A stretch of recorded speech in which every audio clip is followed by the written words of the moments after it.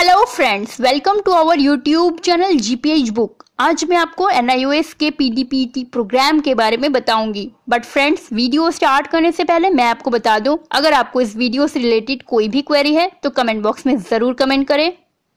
Friends सबसे पहले बात करते हैं एनआईओएस ने पीडीपीटी प्रोग्राम क्यों बनाया है।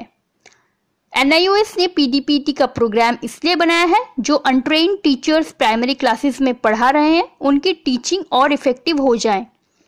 इस प्रोग्राम का नाम है certificate in professional development programme for elementary teachers PDPT के इस प्रोग्राम को डीएलएड ब्रिज कोर्स भी कहते हैं। इस कोर्स की एलिजिबिलिटी है। फ़र्स्ट आपके पास NCTE अप्रूव्ड इंस्टीट्यूट से बीएड की डिग्री होनी चाहिए। एंड सेकेंड टीचर अभी किसी भी स्कूल में प्राइमरी क्लासेस में पढ़ाता हो या पढ़ा चुका हो।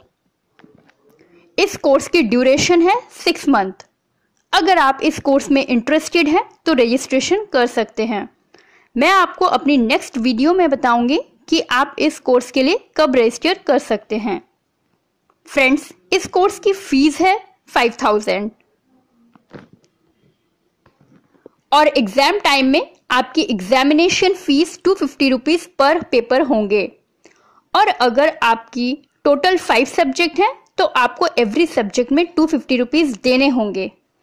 So friends I hope this video will help you हमारी नेक्स्ट वीडियो कैसे रजिस्टर करें पीडीपीटी कोर्स के लिए, देखना ना भूलें। और हमारे यूट्यूब चैनल को लाइक शेयर सब्सक्राइब ज़रूर करें। Thanks for watching